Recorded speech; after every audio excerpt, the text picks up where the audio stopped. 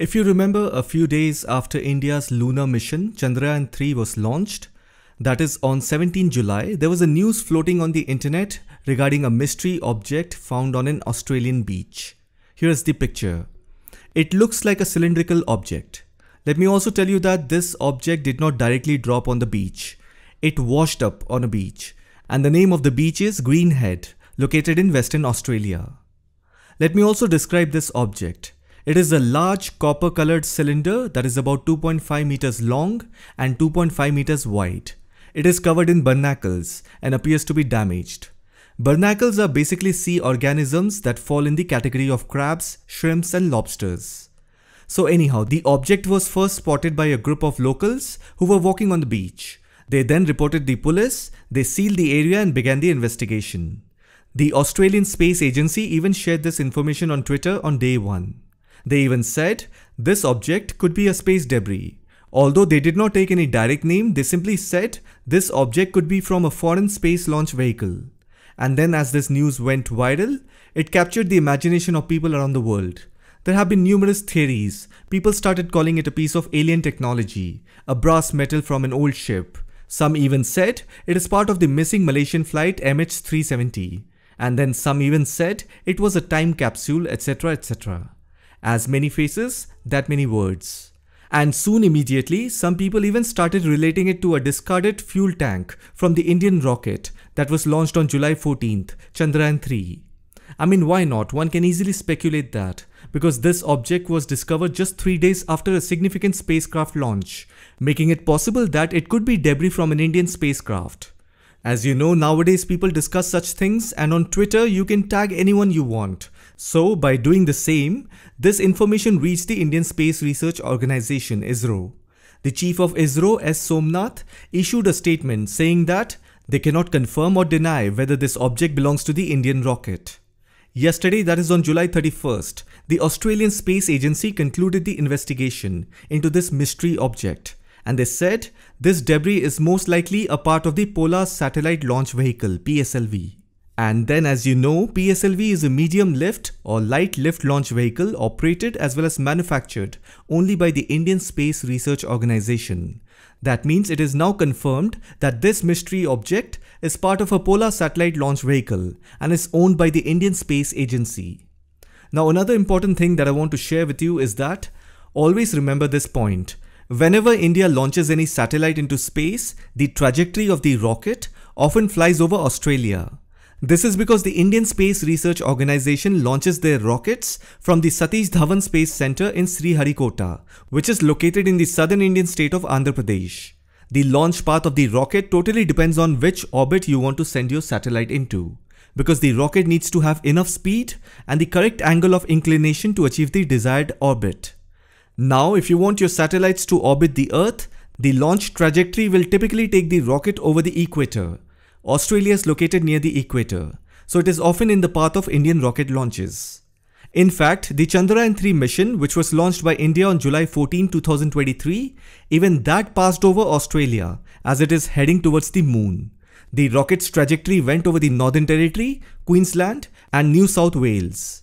I have made a video on Chandrayaan 3 lunar mission. In that I have explained everything in detail from beginning to end, how the spacecraft will reach the moon's surface, so if you're interested in knowing about it, I'll put the link to that video in the top right corner. Please watch it. Now typically when a country launches a satellite, they are well aware of the trajectory and they coordinate with the relevant country's space agency to ensure the rocket's designated flight path is safe. Rockets are usually launched at high altitudes, therefore they pose minimal or zero risk to people and property on the ground. However, despite the low risk, there is always a concern regarding potential damage to public or private property and the safety of people. To address this concern, both the country's space agencies collaborate and coordinate on every launch.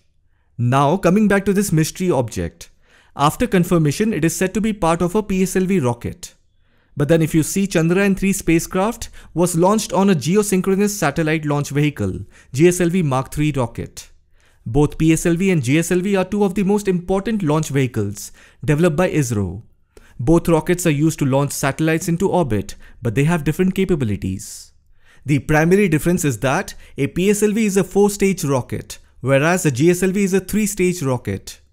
GSLV has a higher payload capacity, which means it is a heavy lift launch vehicle and it can launch satellites into geosynchronous orbit. Whereas a PSLV is a medium or light lift launch vehicle, but then it is a more mature rocket than the GSLV and it has a higher success rate. And the Chandrayaan-3 spacecraft was launched on GSLV Mark III rocket, which is a newly developed rocket by the ISRO. But then the Australian Space Agency has confirmed that this mystery object is part of a PSLV rocket, and more specifically it is part of the third phase of the PSLV rocket. Now the question is when did India launch a PSLV rocket in recent times? The most recent PSLV launch by India was on July 30, 2023, that is two days back. The PSLV C-56 mission launched seven satellites into orbit, including the DSSAR satellite, a synthetic aperture radar satellite developed by Singapore's Defense Science and Technology Agency. The other six satellites were commercial satellites from the United States, Canada and the United Kingdom. So clearly this mysterious object cannot be part of the PSLV that was launched on July 30. Here's the list of all the PSLV launches from ISRO's official website. Most likely this mysterious object is part of the PSLV rocket that was launched on either April 22, 2023 or last year November 26, 2022. And always remember the first stage, second stage and the third stage of a PSLV rocket falls back to Earth, more specifically in the Indian Ocean, at about 130 seconds, 370 seconds and 700 seconds after launch respectively. Many times if the debris is in a relatively good condition and can be recovered safely, it is retrieved and reused. However, if it is not in a suitable state for recovery, the debris is intentionally destroyed by allowing it to be left into the ocean. In this case, the Australian government has managed to recover this large metal object. Now the key issue is whether the Australian Space Agency will hand it back to India or if India will make a request for its return. So this is where you have to understand that there is something called the United Nations Space Treaties. Under this, there are five treaties. Number one, the Outer Space Treaty of 1967. Number two, the Rescue Agreement of 1968. Number three, the Liability Convention of 1972. Number four, the Registration Convention of 1976. And number five, the Moon Agreement of 1979. If you look at the Rescue Agreement of 1968, under this treaty, there are provisions for the assistance and return of astronauts and space objects. Similarly, under the Liability Convention of 1972, there are provisions laid out that talks about the liability of states for damage caused by their space objects. So if you see it is similar to how we register our vehicles in the RTO. Even spacecraft and rockets also need to be registered as per the United Nations space treaties. This means that both the countries, Australia and India, will have to handle the situation as per the United Nations 5 treaties on space. They will follow the provisions like the Rescue Agreement of 1968 and the Liability Convention of 1972 to determine the appropriate course of action. After that, both nations will decide whether to retrieve the object or leave it where it is. So this is what's going to happen. I hope you found this video informative. Thank you for watching it.